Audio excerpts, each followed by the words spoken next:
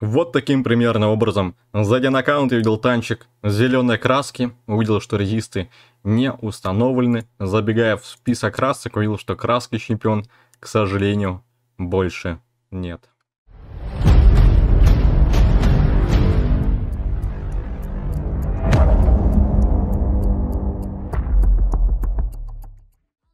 Друзья, приветствую всех на канале, с вами Mortal Hero. И вот примерно такую картину я увидел, когда зашел на свой аккаунт. Мой танчик в краске зеленый, друзья. Если мы вместе с вами забежим в гаражик. У меня GS 8800. Нет резистов, потому что резист 30%.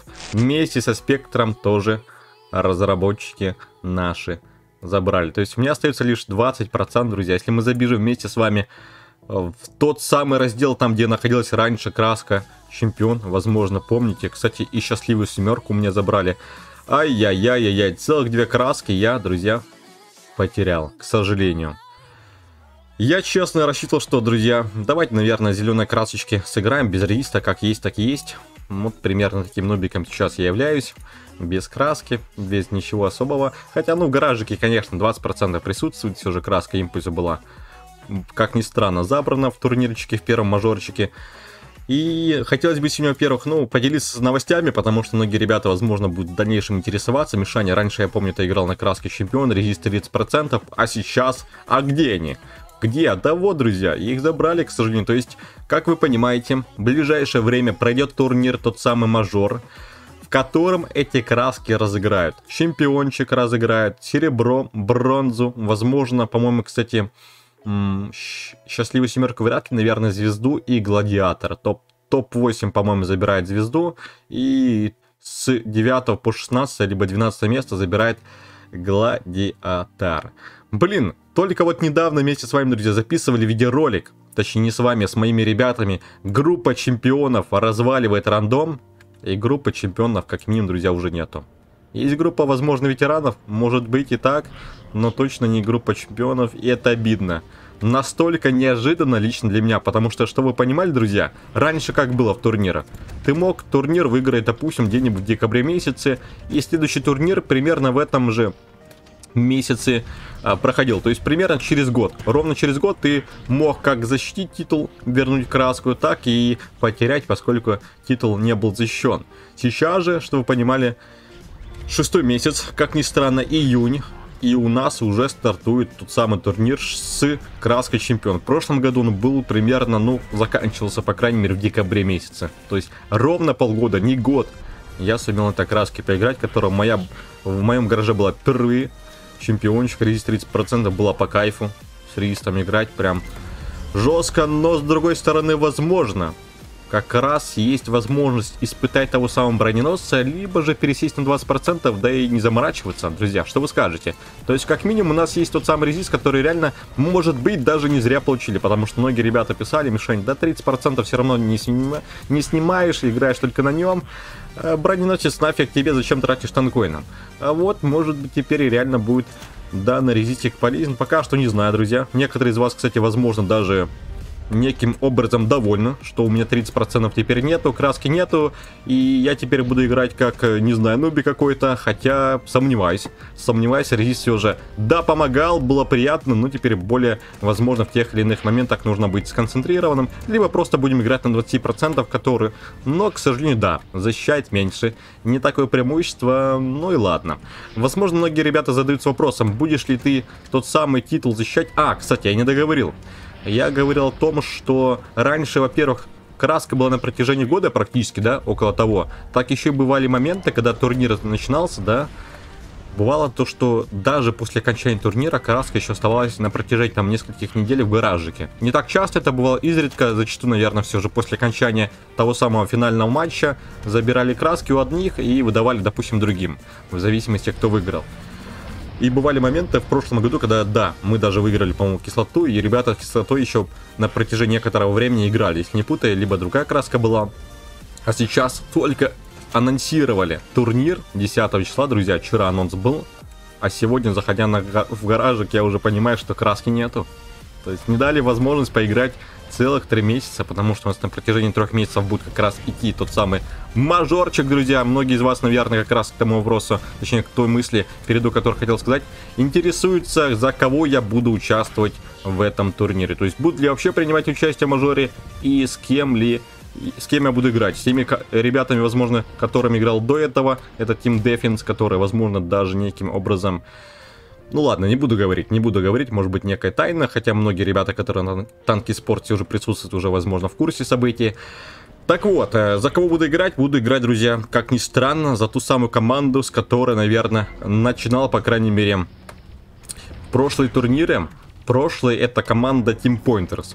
Тот самый мистер Ваника, те самые ребята, которые практически играли в прошлом сезоне, в этом плане у них ничего не поменялось, то есть тот же состав практически сохранился, лишь вышел из команды Лавсик, возможно, конечно, еще некие изменения, о которых я пока что не буду говорить, но вышел Лавсик, и я вступаю пока что. Не знаю, усилия команды, либо, возможно, команда станет слабее, но как минимум Лавсик, к сожалению, не сможет продолжить играть в этом турнире, поэтому есть некая замена в составе у мистера Ваники, и я в, этот, в эту команду вступая буду отыгрывать. Карта, конечно, друзья, не самая приятная у нас попалась во время видеоролика, это шоссе, да. Вместе с вами сейчас попробуем, может быть, страйкера даже разобрать. Но почему бы нет? Мы, кстати, играем, как я ранее говорил, без реистом. На красочке Джеска не максимально. Возможно, некоторые ребята в битве даже удивляются, если есть подписчики, почему я играю на зеленой краске и почему без реистов. Потому что чемпиона нету. Нету теперь чемпиона.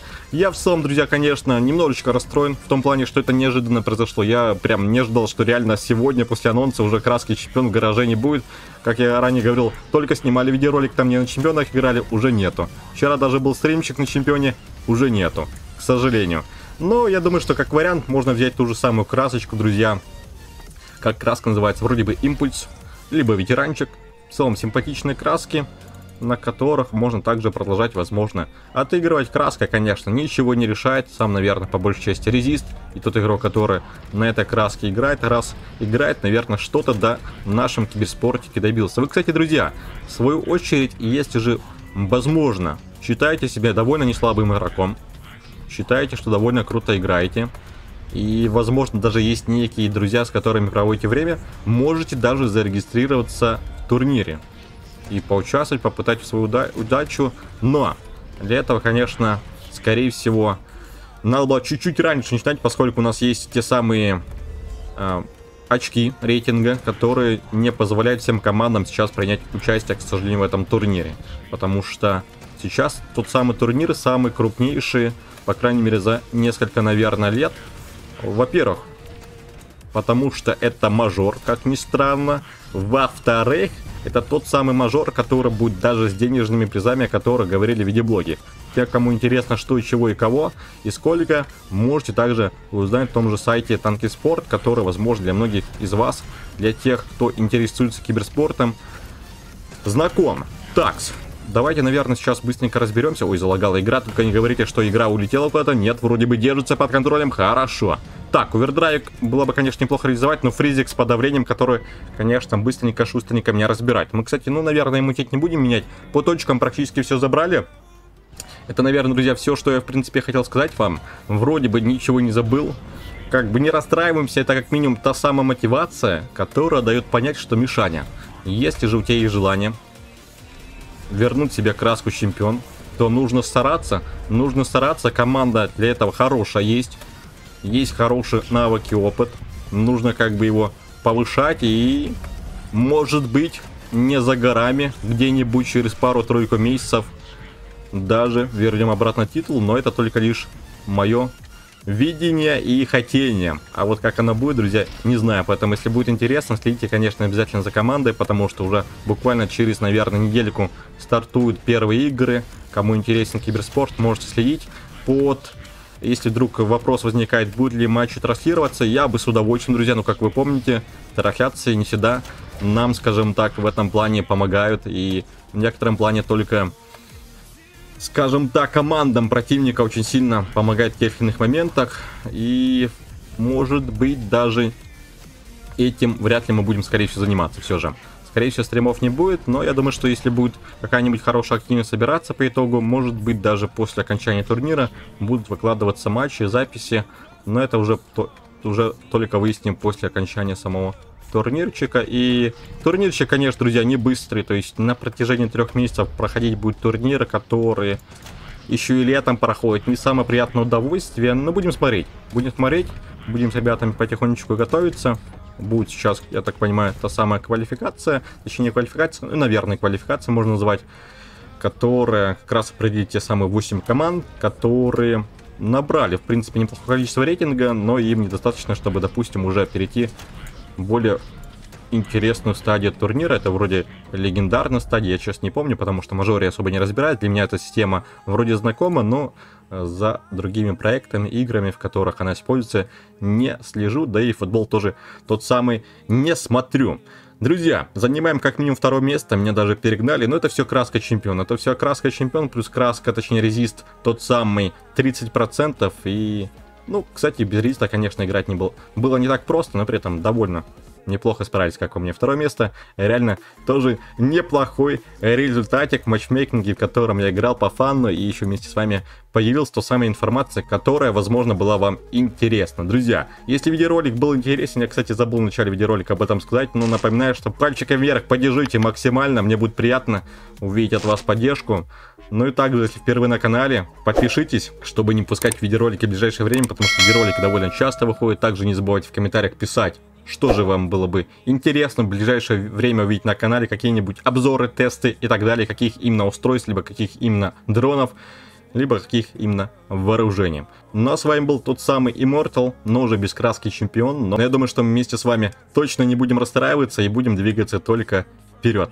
Всем хорошего дня и до скорых встреч!